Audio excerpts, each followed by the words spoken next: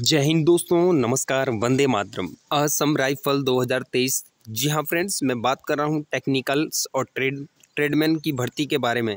इसके फ़िज़िकल कब होने वाले हैं, कहाँ पे होने वाले हैं, और एडमिट कार्ड कितने दिन पहले जारी होने वाला है, और फ़िज़िकल के अंदर कौन कौन से डॉक्यूमेंट बनाने आपको अनिवार्य हैं। तो इन सभी के ऊपर आज गहन चर्चा होने वाली है। तो सभी बच्चे जुड़ जाएँ फटाफट से। चैनल को सब्सक्राइब नहीं किया है तो जल्दी से जाइए, चैनल को सब्सक्राइब कर लें। मैंने जैसा कि लिखा है, अभी की जारी फ़िज़िकल डेट जी हाँ दोस्तों, आप सभी को बता दूँ, एक मई से आपके फ़िज़िकल शुरू हो गए हैं, ठीक है ना? एक मई से आपकी फ़िज़िकल शुरू हो जाएँगे और एडमिट कार्ड की मैं बात करूँ बच्चों एडमिट कार्ड भी बहुत जल्द, यानी कि देख लीजिए, पच्चीस अप्रैल के बाद।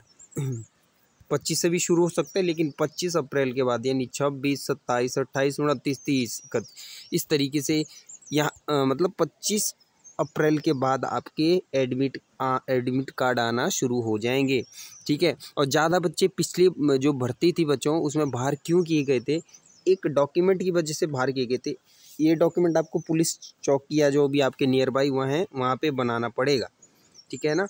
तो इस तरीके से और जो बच्चा हिल देखिए, हिल सर्टिफिकेट अपने साथ रख लें, जो हिल से बिलोंग करते हैं तो वहाँ पे ज़रूरत पड़ने वाला है। बाकी डॉक्यूमेंट को लेके आप, आपको पर्सनल एक वीडियो बना देंगे, कमेंट कर देना कि सर, की वीडियो डालना है, ठीक है?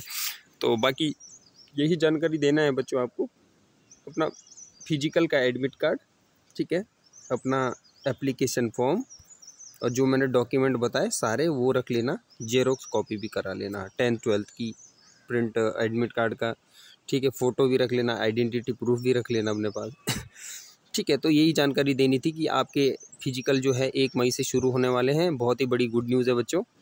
तो वीडियो में जानकारी थी, वीडियो अच्छी लगी है, देखिए चैनल को सब्सक्राइब कर लें, क्योंकि असम राइफल हो, भारत की कोई भी नौकरी की खबर हम आपको सबसे पहले पहुंचाते हैं।